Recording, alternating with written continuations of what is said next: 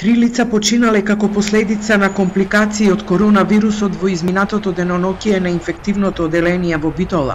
Вкупно се хоспитализирани 78 позитивни пациенти. Од Битолската болница за Телма информираа дека сите се со тешка клиничка слика, а 65 од нив се на кислородна поддршка.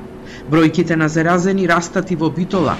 За овие три недели од март се регистрирани речиси 500 новозаболени и 11 починати.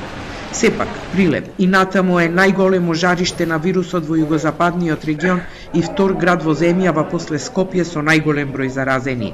Само во трите недели од март има 1013 заболени и 37 починати.